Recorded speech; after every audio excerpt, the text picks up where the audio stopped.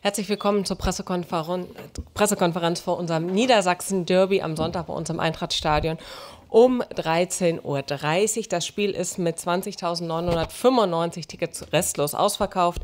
Wir rechnen mit 2.100 Gästefans, die ihre Mannschaft hierher begleiten werden. Stadionöffnung ist zwei Stunden vor Spielbeginn um 11.30 Uhr haben noch ein paar wichtige Hinweise, was das Thema Anreise angeht. Die Hamburger Straße wird spätestens ab 10.30 Uhr zwischen der Kreuzung Siegfriedstraße und dem Schwarzenberg komplett in beide Fahrtrichtungen gesperrt sein. Das betrifft auch den öffentlichen Nahverkehr, das heißt Straßenbahnen verkehren nur leer zwischen den Haltestellen Gesundheitsamt und Schmalbachstraße. Das heißt, wer von äh, Norden nach Süden möchte oder von Süden nach Norden Richtung Wenden, ähm, ja, das gestaltet sich schwierig und äh, eine Bitte an unsere Fans, rechtzeitig ans Stadion anzureisen und auch rechtzeitig die Einlässe zu passi passieren, um dann pünktlich im Stadion zu sein. Trainer, es ist Derby-Zeit, dein erstes Heimderby. Ähm, ihr habt eine relativ lange Woche in der Vorbereitung gehabt. Wie habt ihr sie genutzt und wie groß ist die Vorfreude auf das Spiel? Ja, vielen Dank, Denise. Hallo in die Runde. Äh, man merkt, da es ein, ein anderes Spiel ist, äh, sieht man schon hier an der Fülle des Raumes und wir haben uns gut vorbereitet, wir haben gut intensiv äh, Anfang der Woche trainiert auch, sind natürlich auch auf den Gegner eingegangen. Äh, wir freuen uns alle auf das Derby, auf das für viele dann auch das äh, erste Heimderby äh, hier im Stadion vor ausverkauftem Haus und ja, wir sind bereit. Dann blicken wir einmal auf den Gegner. Wie schätzt du die Mannschaft von Stefan Leitl ein? Ja, wir wissen um die Qualitäten auch des Gegners. Wir, wir sind jetzt in der Rückrunde auch nicht so, äh, hat ja einige Sachen dann auch im, äh, oder ich habe einige Sachen gelesen, sind glaube auch äh, ein bisschen benachteiligt worden, äh, was so gesagt worden ist, fehlen ein paar Punkte, haben wahrscheinlich auch andere Ziele nach der Hinrunde gehabt. Ich glaube, die haben sie auf Platz 5 abgeschlossen. Ähm, ja, letzte Woche zwei Tore aberkannt worden. Ist eine spielerisch gute Mannschaft, kann ist sehr flexibel auch, können ein paar Systeme auch spielen, haben große Robustheit, aber auch fußballerische Qualität. Und es war im Hinspiel schon so, äh, das war am Anfang der Saison so, äh, das hat sich jetzt auch nicht viel äh, geändert. Und von dem her wissen wir auch da, was auf uns zukommt. Dann blicken wir abschließend wie immer aufs Personal. Es gibt zwei gute Nachrichten. Philipp Benkovic ist aus Italien zurück, ähm, hat wieder zumindest Teile, auch kannst du gleich sicherlich näher darauf eingehen, mit der Mannschaft trainiert und Jan-Henrik Marx ist nach abgelaufener Gelbsperre auch wieder an Bord. Ja, genau. Trainingsplatz füllt sich. Äh, das ist schön. Es ist auch ist ein bisschen eine Parallele auch zu der Hinrunde, wo dann auch zum eine Woche vorher schon auch äh, mehr Personal auf dem Platz war, im Training war, wo der Benkovic dazugestoßen ist, Nator de Medina dazugestoßen ist. Äh, diese Woche war es jetzt auch wieder so, dass viele mit Behrendt, mit Benko, mit Solo auch wieder viel, viel äh, Personal oder auch Linus Gechter äh, wieder auf dem Platz gestanden sind und ja, somit ist es schön, auch da wieder mehr aus dem vollen Schöpfen zu kommen können. Jetzt, wenn ich nur mal die Langzeit Pipo Strumpf ist noch dabei, die länger Verletzten äh, sehe, dass die natürlich auch noch eine gewisse Zeit brauchen, aber äh, um dann auch wieder auf vollem Niveau zu sein, das wird dann auch, glaube ich, dann mit den zwei Wochen Länderspielpause, äh, sind sie einen Schritt weiter auch.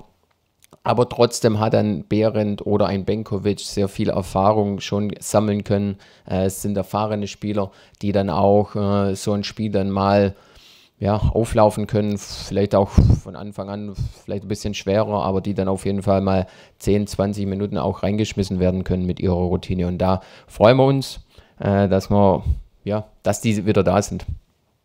Vielen Dank. Dann eröffne ich die Runde. Lars Rücker von der Braunschweiger Zeitung. Die Hand war am schnellsten. Bitte, Lars. Hallo Michael. Ähm, ihr habt gestern rausgegeben, dass zwei eurer Spieler bedroht wurden oder dass es da zumindest Vorfälle an deren Häusern gab. Ähm, was sagst du denn zu dieser Aktion? Ja, ist natürlich, äh, ich glaube, da wurde ja schon viel vom Verein dann auch ge geschrieben und, und äh, Statement abgegeben. Äh, ist natürlich nicht schön, wie das Ganze dann auch war. Äh, sind ja nicht immer nur die Spieler betroffen, sind ja vielleicht auch Familien, Freundinnen äh, mit. Äh, oder andere, wo auch noch in dem Haus oder in dem Wohngebäude äh, wohnen, betroffen, die das dann auch sehen.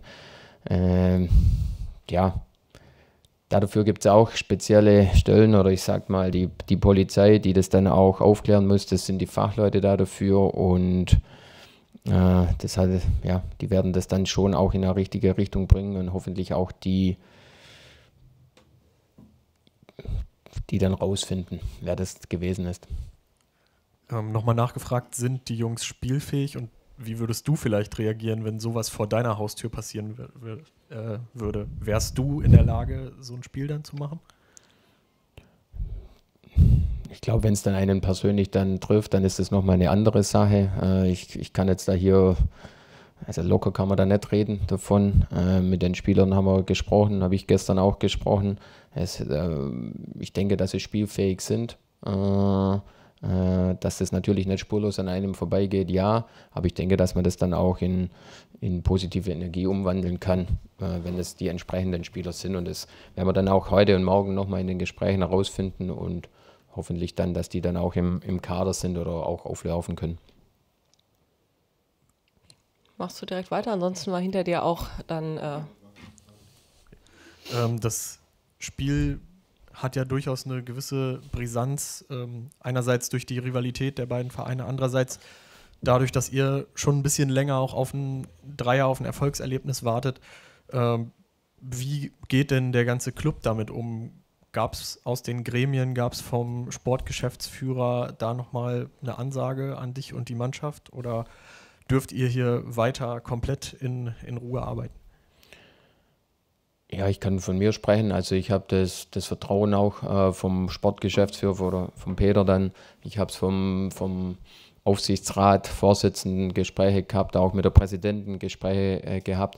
Äh, absolutes Vertrauen dann auch da. Ich glaube, das hat da, äh, es hat sich ja auch wieder gespiegelt mit der, mit der Vertragsunterzeichnung dann auch vor, vor, vor der Rückrunde dann auch vom ersten Spiel mit der, ja, mit, der, mit einer gewissen Laufzeit dann auch drin. Und von dem her äh, absolutes Vertrauen. Wir können in Ruhe abwarten, ach nicht abwarten, wir können in Ruhe auf das Spiel dann auch äh, eingehen und uns vorbereiten. Wir wissen aber um die Präsenz auch des Spiels. Äh, äh, es geht um Punkte, es geht um Punkte nachher, um, mm, um ein gutes Spiel und ja, diese Punkte dann auch einzufahren hier. Dann einmal nennen Sie kurz Namen und Medium bitte. Einmal anmachen. Janik Wittenberg von Antenne Niedersachsen. Jetzt geht's.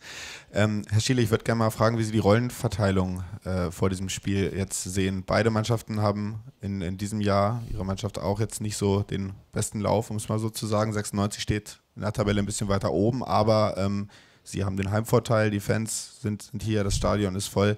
Sind die auf Augenhöhe, Ihre Mannschaft und die Gegner, oder wie würden Sie das einschätzen? Ja, wir sind auf jeden Fall auf Augenhöhe. Wir sind hier, in, ist ein Derby, wir sind auf Augenhöhe, wir haben unsere Fans im Rücken, wir wissen, was wir zu Hause auch äh, leisten können. Wir haben äh, enormes Herz auf dem Platz, wir haben eine Top-Moral, äh, die werden uns nach vorne peitschen. Wir dürfen natürlich auch, oder müssen einen klaren Kopf äh, haben auch. Und ich denke, auf jeden Fall sind wir auf, auf, auf Augenhöhe, ja. Anschlussfrage? Würde ich noch bitte. eine anschließen. Es gerade am Anfang ist schon angeklungen, dass es äh, ihr erstes Heimderby ist. Ähm, auch beim Auswärtsderby wird man das sicherlich schon gespürt haben in der Stadt, dass das irgendwie ein bisschen was anderes ist in der Woche davor. Inwieweit fühlt sich das jetzt, wenn das Derby zu Hause äh, stattfindet, nochmal anders an jetzt im Vorfeld, was man auch in der Stadt mitbekommt und von den Menschen mitbekommt? Ja, ist ja nicht so, dass wir nur in der Stadt unterwegs sind, aber ich habe gestern oder an der Tankstelle mal oder wenn man dann mal kurz draußen ist, dann kriegt man schon viel Erfolg für, fürs Wochenende. Aber es ist auch jede Woche, wenn dich jemand kennt. Äh, das sieht man auch, wie die Stadt dann den Verein lebt, wie sie äh, blau-gelb dann auch leben, den Löwen auch im, im Herz haben. Und da wollen wir natürlich nicht nur jetzt in dem Derby, aber es geht natürlich viel hier in Niedersachsen, äh, äh wollen wir viel zurückgeben. Dann haben wir einmal Fragen auf der anderen Außenseite. Die Kollegen waren etwas schneller. Nele, gehst du einmal auf die andere Seite? Oder bitte auch einmal kurz Name und Medium und dann einmal die Dame in der dritten Reihe und ja, Ladies first. Chloe Wilm von Radio 38. Ähm, vielleicht nochmal zurück zum Thema Drohung. Ähm, wie fühlt man sich denn in Bezug auf Spiel und Fans, dass da jetzt wirklich nichts Schlimmes passiert, wenn es zuvor schon so unschöne Szenen gegeben hat?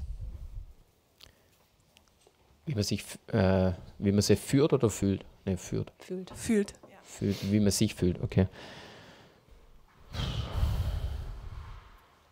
Ja. Ich, ich denke, ich komme auf das Wort Brisanz zurück. Hohe Brisanz. Äh, das fühlt man auch, dass es eine hohe Brisanz ist. Äh, es ist kein Spiel wie jedes andere. Äh, ich glaube, dass äh, wir im ganzen Verein jeder auf äh, seine Fähigkeiten dann auch äh, ja, spezialisiert sein muss, äh, so wie es ich dann auch mit meinem Trainerteam mache, mit Trainerteam mit mir, ich mit ihnen äh, vor der Mannschaft dann stehe, die Mannschaft gut vorbereite, äh, mich auf das Sportliche konzentriere, was ich dann da auch beeinflussen kann und natürlich auch einen klaren Kopf äh, alle drumherum äh, haben müssen, um, um dann die Emotionen, was durchaus kommen werden, auch zu kanalisieren. Und vielleicht nochmal ab vom Spiel. Ähm, das Thema Alkoholverbot im Stadion war ja umstritten. Gibt es dazu was Neues? Nein, gibt es noch nicht. Ähm, also das ist grundsätzlich, es geht um die Modalitäten, wie dieses Alkoholverbot aussehen wird. Da sind wir in Gesprächen mit den beteiligten Netzwerkpartnern und ich denke, dass es da heute hoffentlich irgendwann auch eine Entscheidung gibt. Wir werden auch nochmal im Laufe des Tages, wie gesagt, das Thema Faninfos ausführlich kommunizieren, wo dann alle wesentlichen und wichtigen Dinge rund um das Spiel mit drin sind. So, dann gab es eine Meldung in der Reihe vor Ihnen. Gerrit Nolte von der Bild-Zeitung. Guten Morgen. Ähm, ich habe eine Frage an Herrn Schiele zu, zur Freundschaft mit Stefan Leitl. Sie haben ja zusammen die Trainerausbildung gemacht, ähm, haben sich letztes Jahr bei unserem Bild-Sommerfest intensiv ausgetauscht. Ähm, wie groß ist, die, äh, ist der Austausch regelmäßig oder wie oft? Und äh, wie stark ruht der vor, also vor so einem Spiel? Ja, wir haben uns jetzt vorm Spiel nicht ausgetauscht und haben uns auch nicht gesprochen oder die letzten Wochen schon nicht gesprochen, aber sonst haben wir schon auch äh, immer wieder äh, Kontakt gehabt, schreiben uns mal, mh, mm, ja, getroffen haben wir uns auch noch nicht, äh, äh, aber es ist ein Telefonat, ist mal eine Nachricht und ich glaube, dass sich jeder jetzt auch die letzten Wochen auf, auf, ja, auf seine Aufgabe im jeweiligen Verein äh, konzentriert hat. Dann gab es hinten eine Frage in der letzten Reihe. Ja, hallo zusammen. Ich bin Yannick Meyer von der Hannoverschen Allgemeinen Zeitung und Neuen Presse. Ähm, ja, Herr Schiele, 96 hat in diesem Jahr noch gar nicht gewonnen, wir haben es ja eben schon gehört. Braunschweig ist auf Platz 17 aktuell. Wer hat denn eigentlich mehr Druck am Sonntag? Wer braucht den Sieg noch mehr? Ich glaube, Druck haben beide Mannschaften. Mmh. Jeder will, jeder will punkten, wir wollen punkten, wir wollen gewinnen. Äh, das, die Brisanz habe ich vorhin schon ein paar Mal angesagt. Es geht um, um hier in Niedersachsen dann auch um ja, bei, den, bei der Rivalität äh, von den Vereinen auch, äh, bei den Fans, bei, bei den Städten. Aber wir wollen die Punkte natürlich bei uns behalten und ob was der Gegner, äh, auf den Gegner kann ich da oder zu denen kann ich da nichts sagen. Wir wissen, was wir wollen und darauf bereiten wir uns vor. Ja, angeschlossen daran nochmal eine Frage zum Gegner. Und zwar ähm, hat Hannover jetzt noch gar nicht gewonnen in der Rückrunde. Natürlich, Sie haben es eben auch schon gesagt, gibt es einige Entscheidungen, die da auch gegen 96 gelaufen sind. Aber so aus der Entfernung betrachtet, was sind für Sie da auch die Gründe, warum es eben in Hannover nicht so läuft wie in der Hinrunde? Boah, da bin ich glaube ich auch zu weit weg, warum das da nicht ganz so läuft. Äh, das wird Stefan dann auch mit seinem Trainerteam besprochen haben oder analysiert haben und von dem her möchte ich mich da nicht äußern. Oder kann ich mich auch nicht äußern. Dann einmal der Kollege von den Radioantennen nochmal auf der anderen Seite.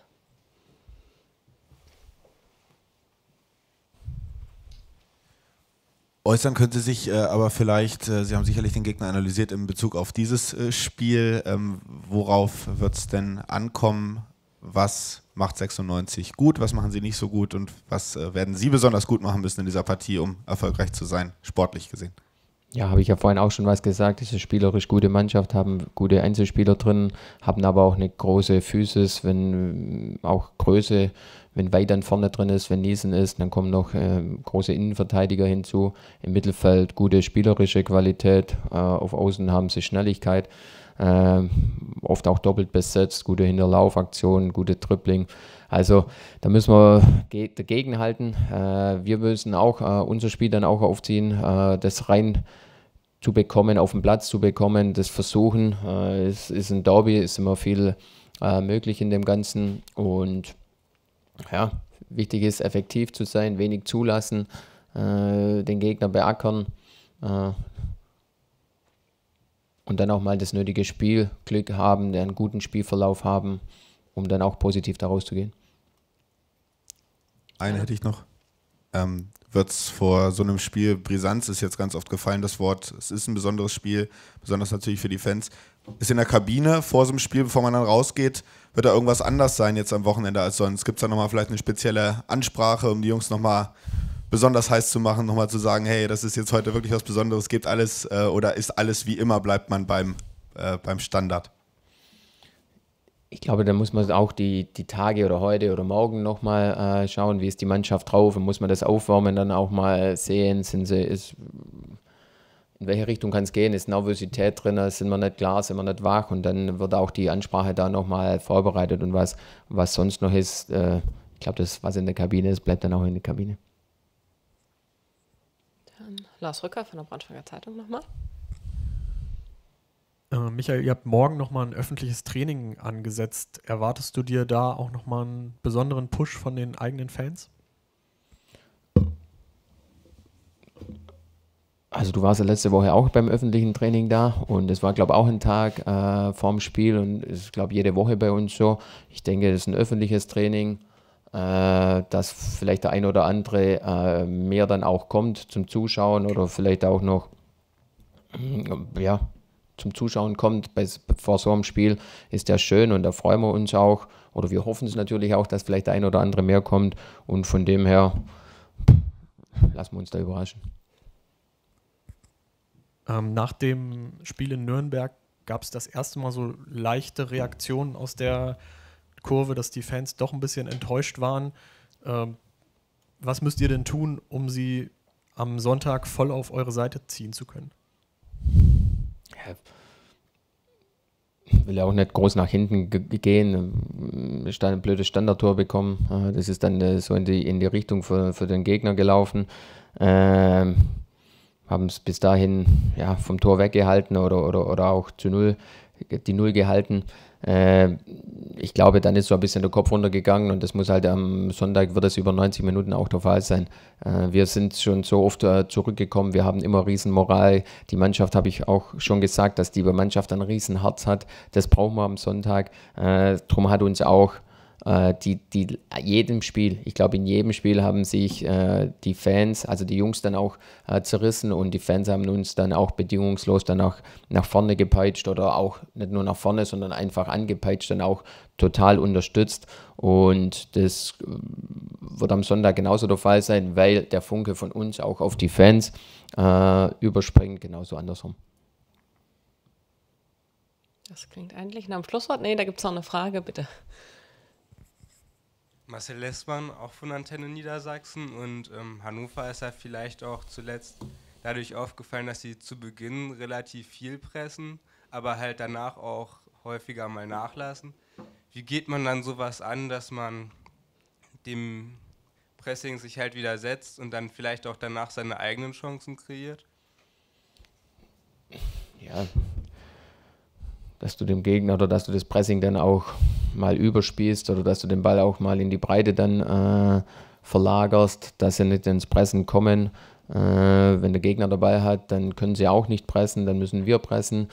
Äh, ja, gibt viele, viele Möglichkeiten dann auch. Äh, und klar, jeder will am Anfang so Akzente dann setzen, das werden die versuchen, das werden wir auch versuchen, um, um dann auch gut in das Spiel reinzukommen. Und denke, so wird es am Sonntag auch sein. Weitere Fragen? Schau in die Runde. Sieht nicht so aus. Dann sehen wir uns zum Derby am Sonntag. Vielen Dank.